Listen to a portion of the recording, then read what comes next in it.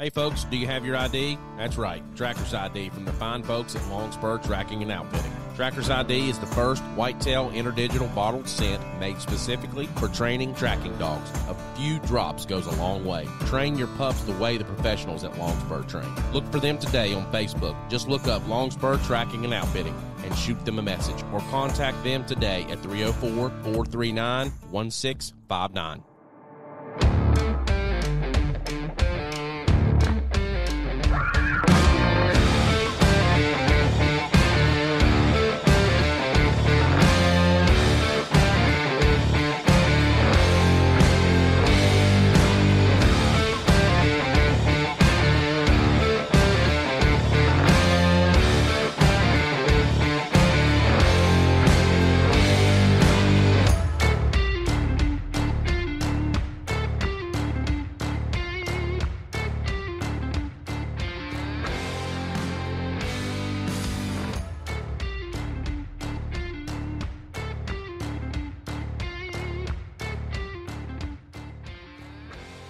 Right, guys, welcome to another episode of On the Limb podcast with Nature's Voice Game Calls. Man, you can tell we're setting back up from being out of the studio. Yeah, yeah, absolutely. Well, yeah. I was like, wait a second, we don't have a power cable on that. Yeah, we didn't have a power cable on our thing that goes to our headphones. I'm like, I can't hear myself. I can't hear myself. Anyways, you'll have that when you do these live podcasts. Yeah, sometimes. So, back in the studio, here we are. I had an awesome live podcast up at 1010 Bridge Road there at the 1010 Bridge Restaurant. Oh, yeah. With Chef Paul Yeah. Smith.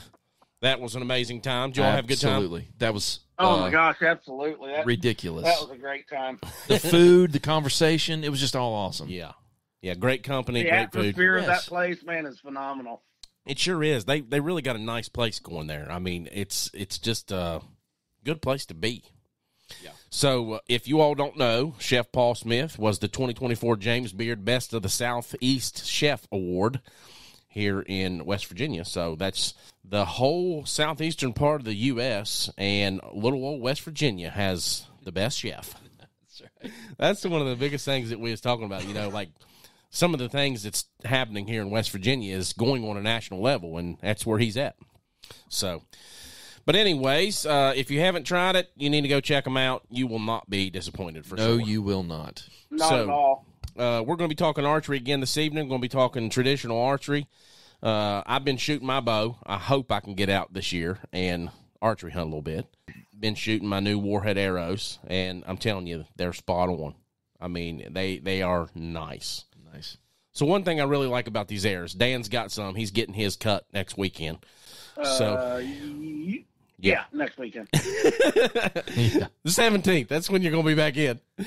Yeah, I had And- to think of what day it was. Yeah, But um, so the the front of center on these things is really good. So that really helps with impact. And they've got a little sleeve that you put on the end of these arrows, you know, and then you put your field point in or you put your broadhead in that. So it's like a little spacer, but it's Uh, it allows it to be just a little heavier on the end. That makes sense. Okay. So Yeah. it, the impact is is increased Mm, tremendously in on mine. I'm Yeah. almost shooting through my target. Yeah. They're coming out the back of the target. I, I mean, at least I'd say 16, 18 inches. Yeah. Every bit of it. So, I mean they'll do that when you're shooting from ten yards. You know. well, you know, I didn't want to tell them that. You gotta, hey, wait a second. I I heard our guest chuckle. or if you're standing there and you like jab it really hard with your hand. Yeah. Oh, yeah. You know, and then take pictures. Why are you looking at me when you say that? I'm just, I Oh don't know. Lord.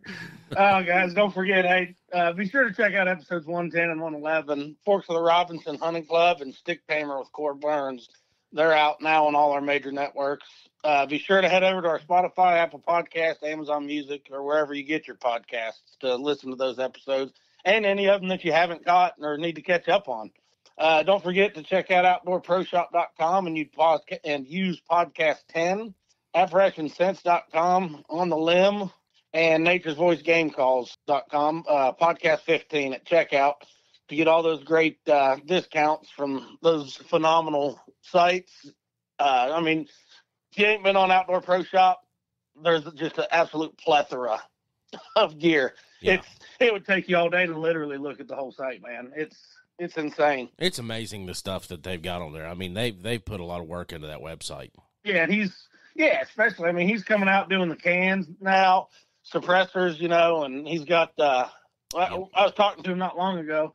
They're working on doing um uh FF or FFL trusts. So you'll be able to do a trust through them here soon, if not already. Yeah, I think you can already do that now.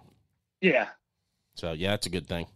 All right, well, uh, be sure to check us out on all of those that Dan mentioned there, and uh, like I said, we got traditional archery this evening. So without further ado, please welcome with me Andrew Kimpel, the owner of Wolf Paw Archery. How you doing, Andrew? I'm doing well. How you guys doing this evening? Oh man, we're doing great. Great. Thanks for having me on. Yeah, no problem, Yeah, buddy. we appreciate you coming out. So yes, sir. so Dan wasn't with us there in Morgantown when we met you for the first time, but that was uh, last year. Well, that was this year actually at the show, and uh, yeah, okay. You know we got to we got to talking there a little bit. So uh, tell us a little bit about Wolf Paw Archery. Okay. Yeah, Wolf Paw started uh, as a project a little bit, you know, back in uh, the early 2000s uh, when I was still an executive chef and managing um, a restaurant down in Baltimore. Um, Oh. At the time, I was switching from, you know, as an avid compound hunter, having shot so many deer, I wanted to, a new challenge. Uh, I did I did buy some traditional bows, a couple high end ones from back then. There were handful of maybe 10 or 12 really popular bowyers in America.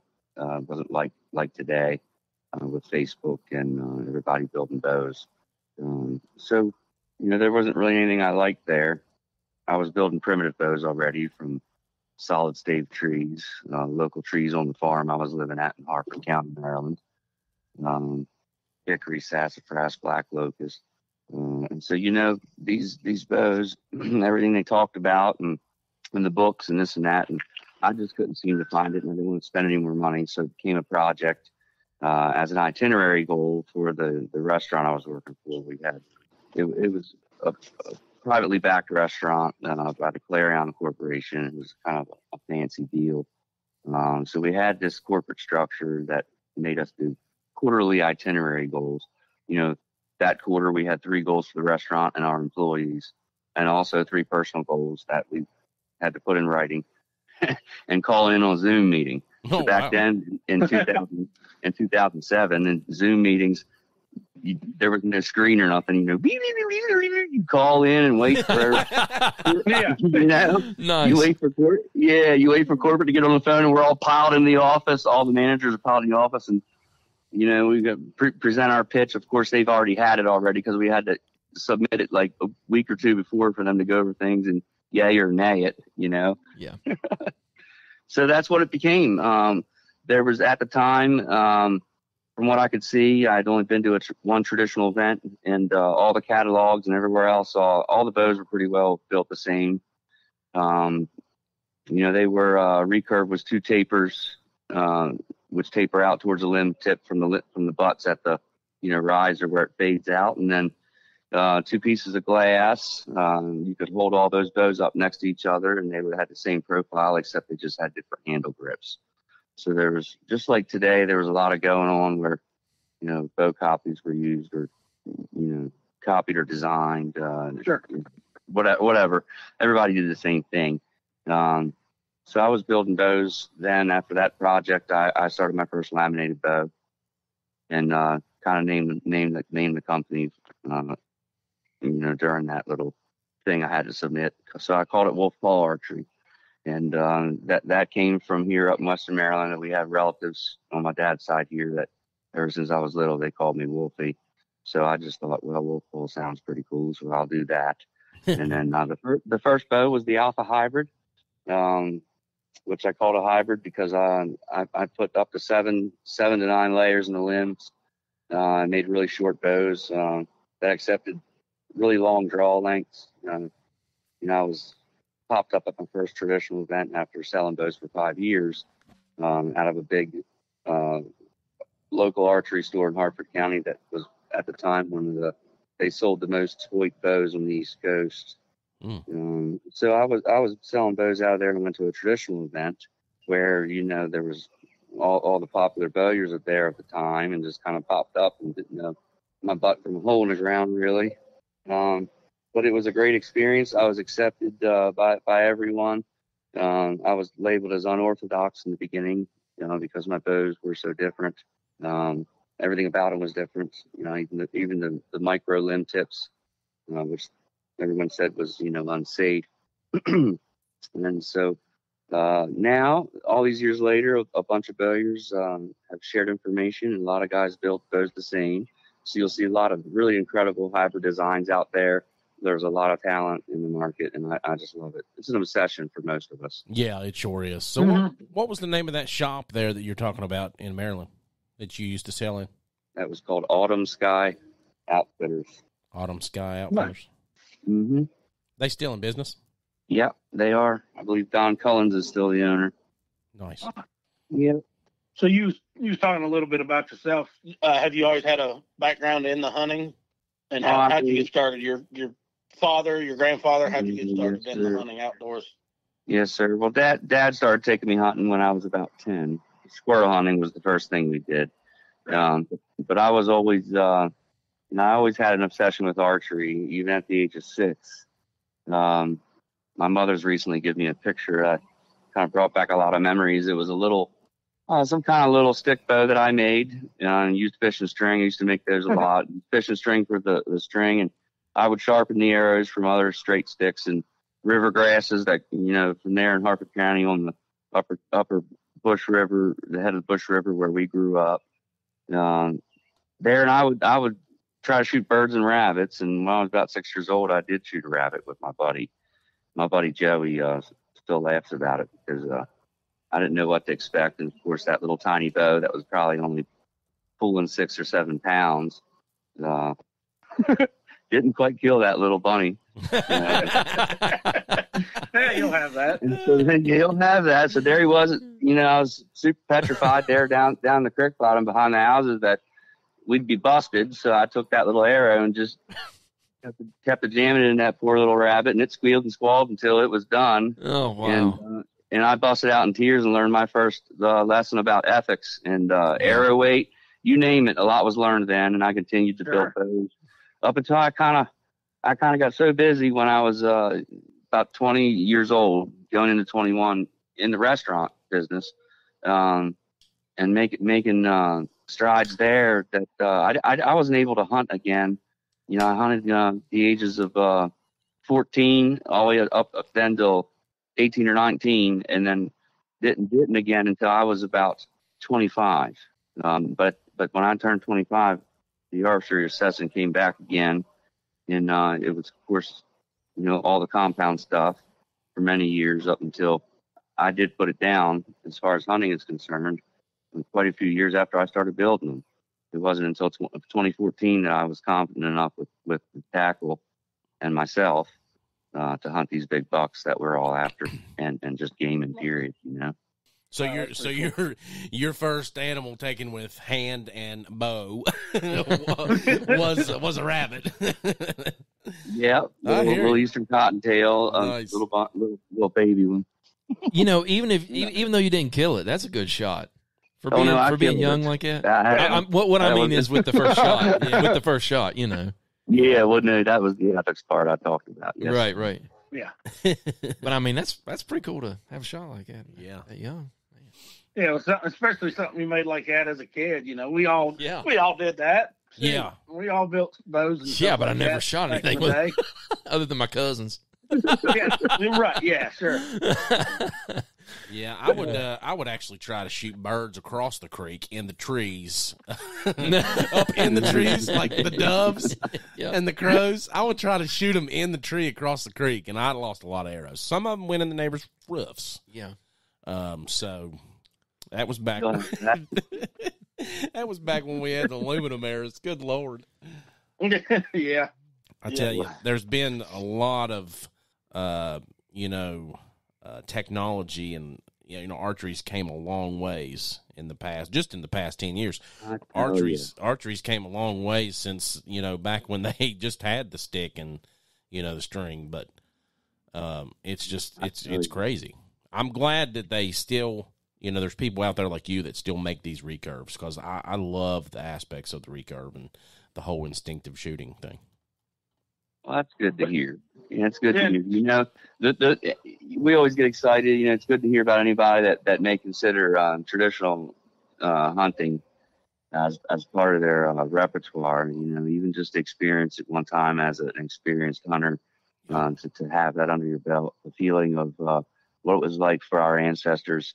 Um, and, and, you know, we're I think we're you know, in, in all you know, we know we're blessed to have the opportunity here in this in this great country to to hunt um, some people look down on traditional hunting while there's this modern tackle. Yeah. Um, but you know, we're we're we're here for a reason. That's because our ancestors did it. That's right. Uh, yeah. Up until recently, until you know all this modern technology and you know just how fast it's gone, even since '92, uh, has has been amazing. And you know, that that was part of what drove me to want to go back to traditional and you know, but it's the modern drive keeps us going. You know, there's always modern things. Yes. For instance, you know, the I have my new operating partner, and you know, I'm sure everyone knows I'm with Whitetail Forensics Camouflage now, and um, as an operating partner, I've designed some products uh, for for the catalog, and uh, one of you know the, the, first bow we put on is is a very modern hunting rig, uh, and it happens to be of the international limb fitting origin.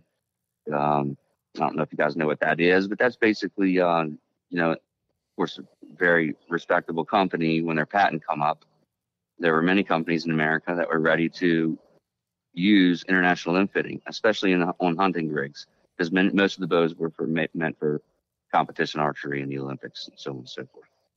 So these international limb fitting uh, you know, uh, I've designed my own hardware. You know, so Wolf Paw has a line of hardware that's available for other bowyers to use to build their international limb fitting rigs, uh, and, and, they can accept limbs from other companies. And so if the specs are right inside the riser, it's a toolless hardware system um, where the the limb bezels are also adjustable, like a compound. So nice. you can you can relieve a little bit of weight off of these bezels uh, and change the brace height on the bow. You know how far the string is from the grip. Um, a little bit. You can adjust the limbs left to right on some models of the risers because there's a lateral tiller there. Um, we happen to tap them if the customer requests uh, for a sight stabilizer, bushing, and or for your camera. Uh, you know, I, mine's set up with uh, an Arizona Archery Enterprises uh, two-prong old school style rest, and I'm shooting solid veins from Flex Fletch. Uh, uh, you know, totally equipped with uh, really nice BowJax brand uh, stabilizers, uh, which, which, they have a really nice string stop. Um, that's like a limb dampener and string stop for like aggressive recurve limbs and an eye to eagle bows and so on and so forth. Um, so, so, so for guys that are interested in uh, getting into it that may not uh, necessarily uh, trust a primitive piece of tackle like a like a self bow or even a lower poundage long bow, you know that we hope that this strikes their interest because they're incredibly fast, silent, and efficient bows, and you know you can take them apart and put them together in a matter of seconds. Nice. Uh, without without any tools, yeah, and uh, they're short. They're short killers, is what they are. Um, so are these so, out? Are these out now? I haven't seen these. Yeah, Mike. Yes, sir. They are. Yeah, we we we uh, presented um, all the, pro- the final prototypes there at the uh, Great American Outdoor Show uh, Tim Minnick, uh, the owner and founder of Whitetail Forensics, and I and his team, along with his son, uh, who is the designer of the 3D geometrical pattern of the Whitetail Forensics uh, uh, camo scheme. Um, and so then, then after that, we've just been going to some shows and building DeVoes for our sponsored members, who are team members, rep, reps, and ambassadors. Uh, who have taken on a sponsorship through Wolf Paw and Whitetail Forensics uh, to get these bows out there and uh, start hunting with them. And I can tell you that eight out of uh, ten of them uh, are all new to, to traditional archery. So it, oh, wow. be very exciting for us and, and to see them grow in, in the sport. Yeah, for sure. Well, we're going to take a break and hear a word from our sponsors, and we'll be right back. Yes, sir. This segment of On the Limb with Nature's Voice Game Calls is brought to you by AMG Network Hosting LLC, a national independent agent for most major telecommunication service providers.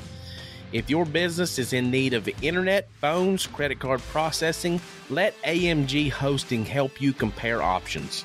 They work with over 100 national carriers and they can help you choose the best option for your needs. Our independence means we are loyal to our customers, not a brand or a company.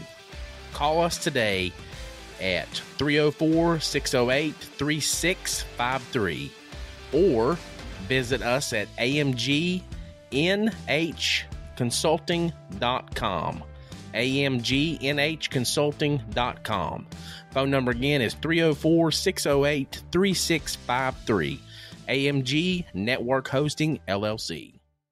All right, guys, we're back with Andrew Kimpel with Wolf Paw Archery. So um, I believe Dan's going to give us our salute to valor for this evening. Absolutely. So tonight we're salute Derek Jameson from Morgantown, West Virginia. He served in uh, served in the Navy for four years at of Pascagoula, Mississippi, and done two tours of duty in Iraq. So we just like to thank him. Thank you for your service, and we appreciate everything you done. Going to Iraq twice is a it's a long time to be out of country.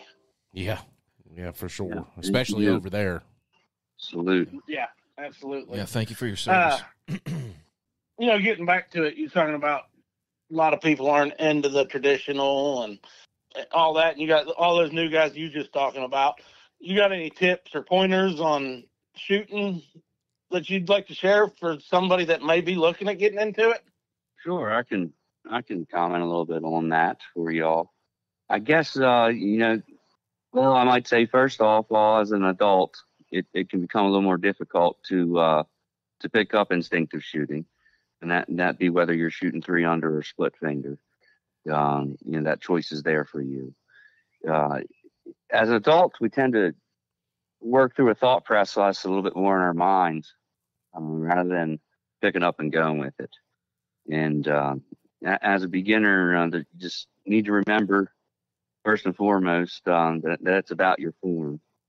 Um, I might suggest anyone that needs a quick good videos or two on that to check out Mr. Tom Clum, um, who owns Rocky Mountain Specialty Gear, and he's an Olympic archery instructor here in the United States. Other places, he has one of only four or five people, I believe, with his level, level of certification. And uh, he's a great teacher for instinctive archery. That will teach you a little bit about, you know, the draw cycle and actually what we're doing there.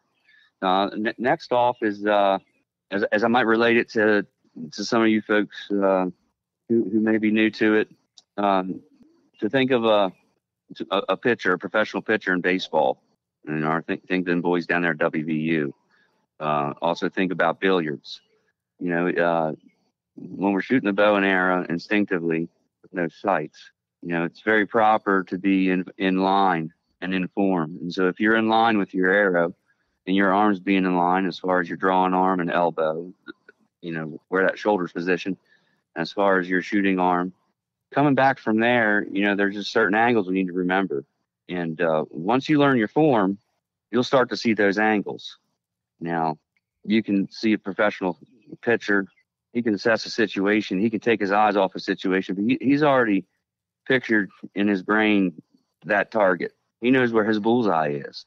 Yeah. And, and he can look away and reacquire that within a millisecond.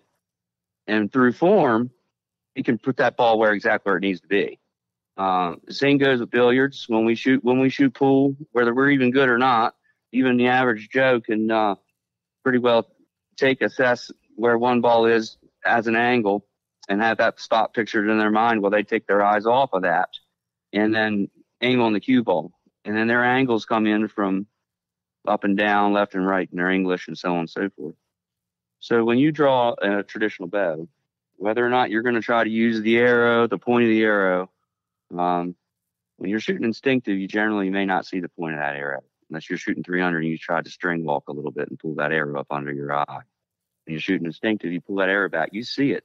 You know, you're you're pretty well aiming. You pick out a spot on that target with your eyes, both eyes, and you don't you, don't really take take your eyes away. You know, as you're coming up through your draw cycle, you you can see if your tip of your arrow is centered in your lower peripheral vision with both eyes. You can see if that's centered or not, left and right with your target. Mm-hmm. Generally, with, with split finger, that's going to the tip of the arrow as you come to full draw, unless you're shooting a real long arrow. The tip of the arrow then comes goes out of your vision. So you're then both of your eyes is, is, and your form is basically what's putting that arrow exactly where you're looking.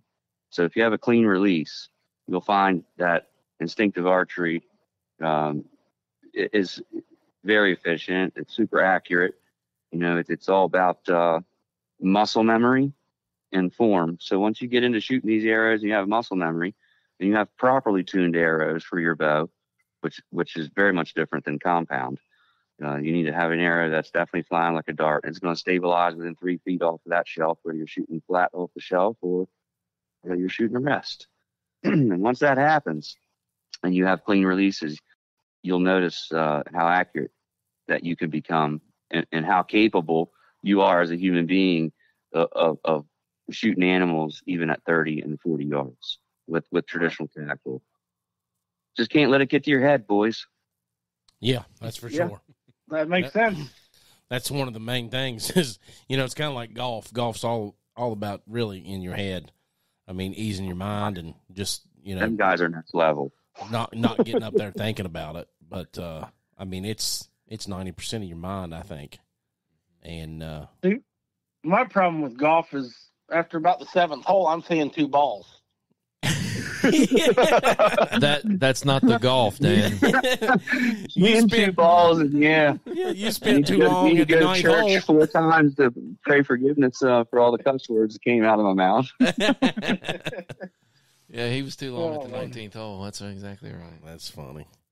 So you got uh, you got an event coming up here pretty soon. Are you going to be at the beer or let's see the deer gear and beer, beer gear and beer? Yep. Yeah, Deer Beer and Gear Expo. That's that's that's great. Uh, thanks for asking, uh, Mr. Jeremy Critchfield, the hunt chef. He's putting on that event. That's at the Fayette County Fairgrounds there. Uh, I believe that's not too far from Morgantown. Nope. Um, up up of Uniontown there a bit. Uh, we're going to do that. I'll be representing uh, Whitetail Forensics Camo and uh, Wolf Paw Archery for the products that we have available. And I'll be looking forward to, to, to meeting everybody and see, seeing uh, old faces and meeting new. Yeah, I think that's going to be a really good show. He's going to have some live entertainment there during the show, and we're going to have some really good food, obviously. Oh yeah. So uh, excuse that background noise. We got ATVs and all kinds of stuff around here. yeah, you're enjoying the nice evening outside up there. It was 101 when I got in my truck this evening. Oh man, yeah, it was rough out. It was beautiful here today. I'm telling you, 77 degrees. Are you kidding what? me? Oh my god, it was it was. Honestly, I'm I'm, I'm not gonna lie. I kind of got chilly. I kind of got chilly. I don't know. Where um, are you um, living? It got 77 degrees only. It, I'm out here in Missouri right now. Yeah. I we've had oh. yesterday was 111 degrees. Yeah. He, oh, I see. And today, I don't know. It was overcast. The wind was blowing. That wind was had a little bit of nip in it. Where had two weeks in the hundreds. It was mm-hmm. it was yeah, something. I'm like, man, it's been roasting everywhere. Really, super hot everywhere. Really. Yeah, yeah. it has all, that drought and this and that. Yeah, we've got plenty of rain coming up the coast though from that uh, tropical storm Debbie. yeah, Debbie. Old Debbie. Oh, Debbie. I had two aunts named Debbie. They were tropical storms too. oh, I had an aunt named Debbie. Here. She's Did welcome. You? Her rain's welcome here in my yard. I'll tell you that. Aunt Debbie and Uncle Bud. Yep. Man, had some good times at their house. Anyway, so um, tell us about uh, the whitetail forensic camo, real quick. Now that's that's one of the things that caught my eye at the Morgantown show. It looks good um, because be it, it it's good. just it's unique and it's something that's not. You know, I haven't seen nothing out there like it, so it kind of caught my eye there at the at the Morgantown show, and that's kind of what sparked our our conversation was the camo, and then we got to talking about the bows. So tell us a little bit about that. I, I also like the WTF. yes, sir. Yes, sir. Yeah, well, that's, that's catchy. That's catchy. The most interesting thing is the logo. Um, of course, you know when most people see it, and that could be anywhere, from my experience now, from kids the age of seven years old up to old men that are um, probably 90. Yeah. Uh, as, they, as they see that, and the first comment that comes out is, of course, what you think it is. yeah. And, uh, Yep. well, I don't know what to say either. I think they might need to go to church too. Uh, uh, but you know, the WTF Whitetail Forensics um, is uh, an excellent camouflage, and uh, I, I first come across it myself on Facebook two years ago, and uh, had the great opportunity of meeting the owner uh, as he was just into his uh, basically second year, two and a half years into business, I think, um, with the camouflage. Uh, it was uh, something he designed. It took better part of five years. Uh, he and his son um, did a lot of research on the science of deer vision. Um, of course, and learning so, as many people know, deer are red and green colorblind and have usually about 20 to 100 vision. Yeah. Um, so they aren't completely colorblind and they see, uh, you know, greens as shades of yellow. Um, a lot of your reds may turn either gray or, or light color of, of something like that. Um, so they chose the particular three colors of, of very light, uh, off white, kind of an antique white or Wimbledon white color, and uh, maybe what some might call a coyote brown and your jet black colors. Um, but the actual camo pattern is really sets it apart from everything else. Combined with those color combinations and the 3D geometry uh, that Brendan Minnick uh, developed. Um, well, I tell you, it's it's it's definitely when you look at it, you kind of are like WTF because I that's what I thought on Facebook. I said, Yeah. WTF is this? And but then, but then it, but but i- immediately right thereafter, knowing the different camouflage and everything that's on the market and everything I've worn, uh, which are most effective and why they were. Uh, when I saw this, I thought, well, it's so out of the ordinary yes. It is. definitely not. It's definitely not made for humans' eyes. Um, and and I, I've got to experience this stuff.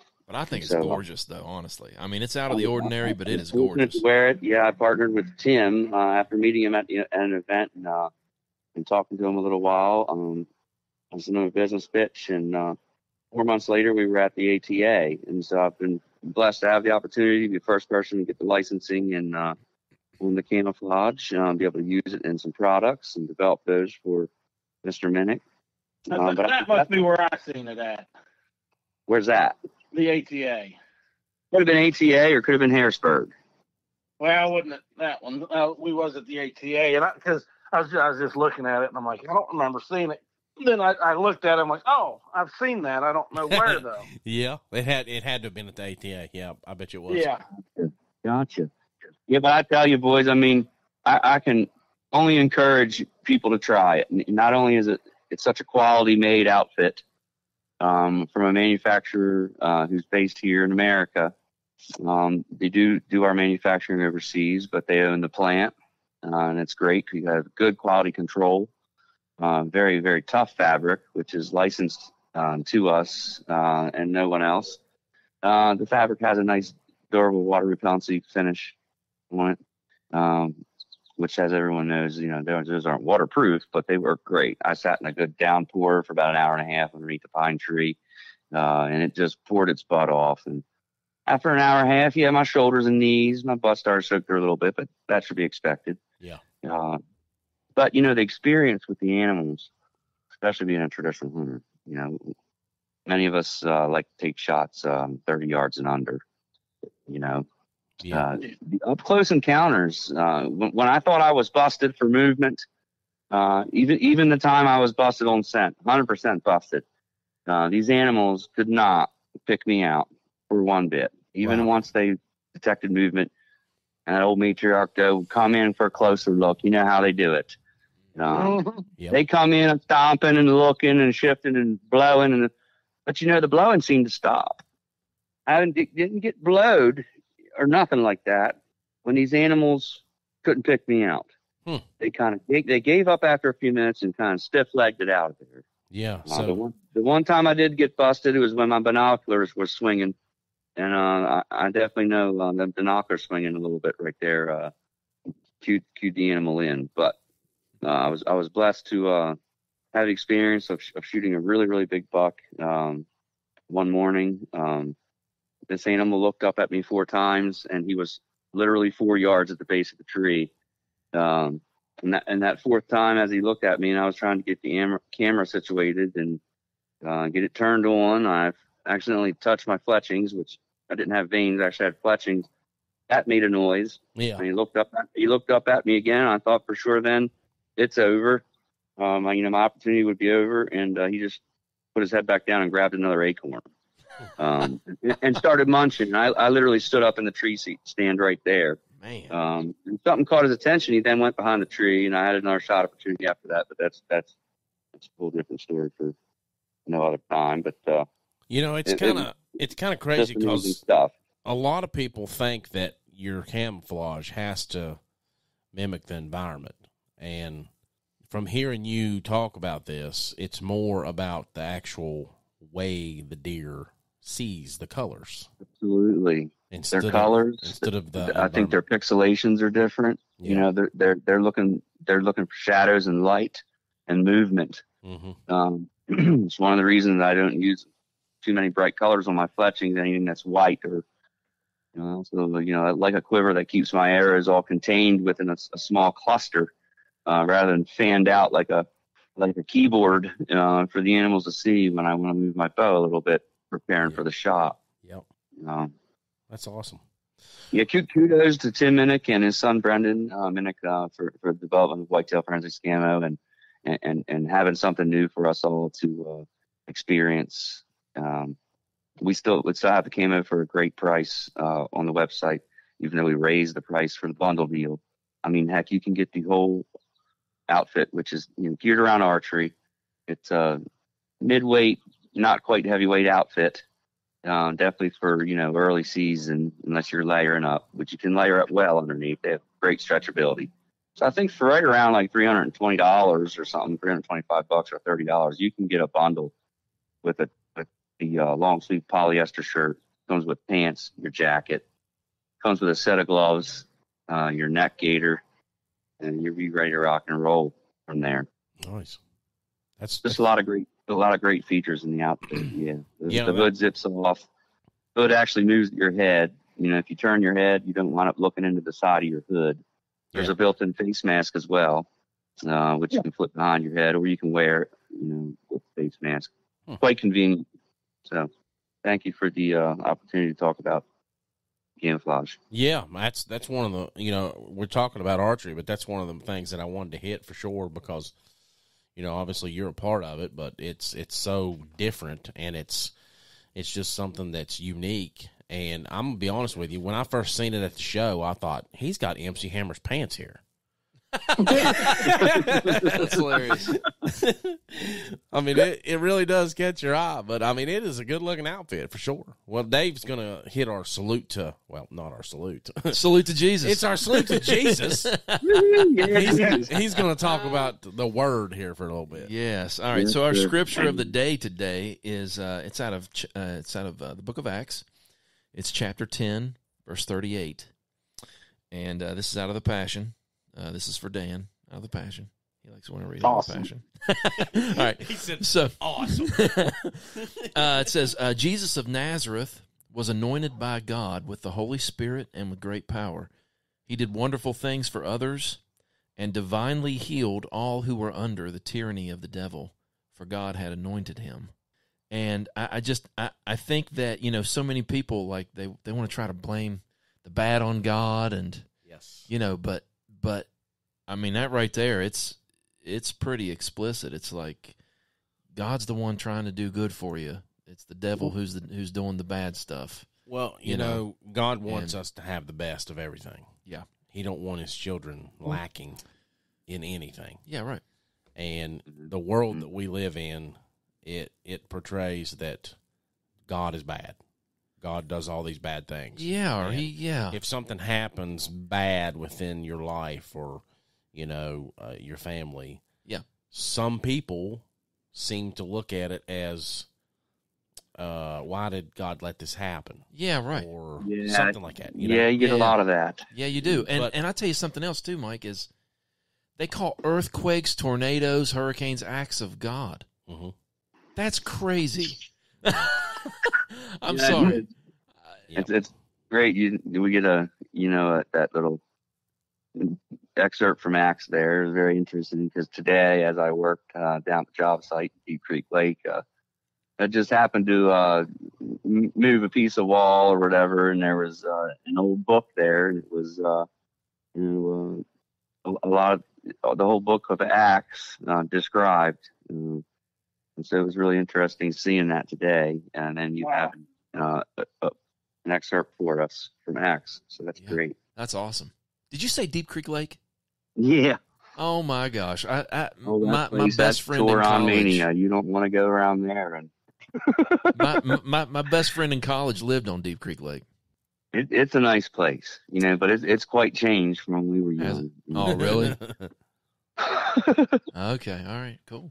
Well, anyway, I was, I was just like Deep Creek Lake. I've never heard anybody talk about Deep Creek Lake. Isn't that funny? that is kind of funny. Anyway, go ahead. Sorry, but yeah, It's, it's a nice area. It's a place to be. You know, I mean, a lot of shopping's down there in the southern part of the county. I'm up here in the northern part of the county where, uh, you know, most of us country people like to stay a little more secluded.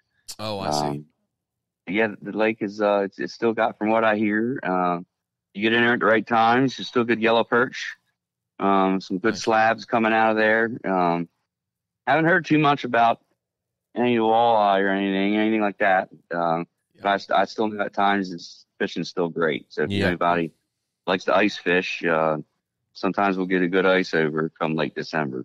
Nice. Well, Andrew, it's been great speaking with you this evening. Yes, it It was a pleasure having you talk about Wolf Paw Archery and the WTF camo. yeah, Mike and Dan, yeah, yeah, we appreciate the opportunity, and uh, it was a it was a great opportunity to be there. Yeah, I appreciate it. Yeah, Yeah, we appreciate you coming on. yep, for sure. cheers.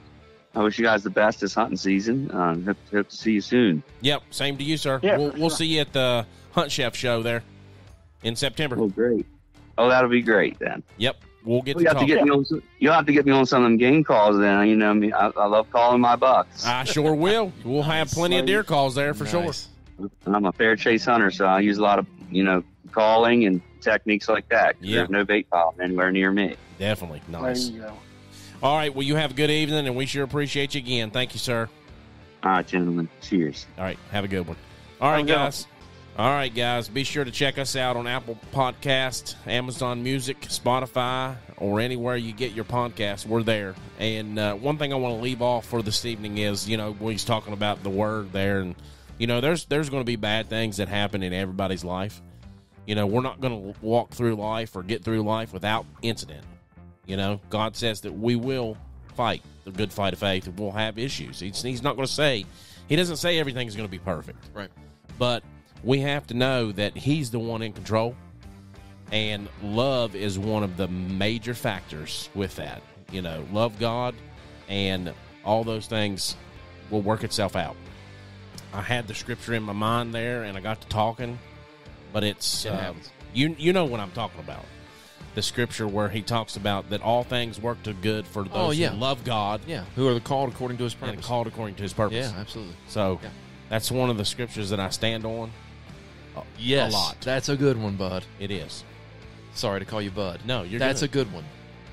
Yep, it sure is. All things work together for good because when it looks like it ain't working together for good, if you can, if you can just know that. Yeah, he will turn eh, he will turn the negative Yes. into something good. Absolutely. So, I love it. all right, guys. Well, we appreciate you listening. Feel you for a little bit of word there before we go this evening. nice. Like it. all right, have a good one, Dan. We appreciate you, brother. Be careful out there. Yeah, sure will, guys. I appreciate it. All right, Y'all man. Have a good evening. Holler at you later.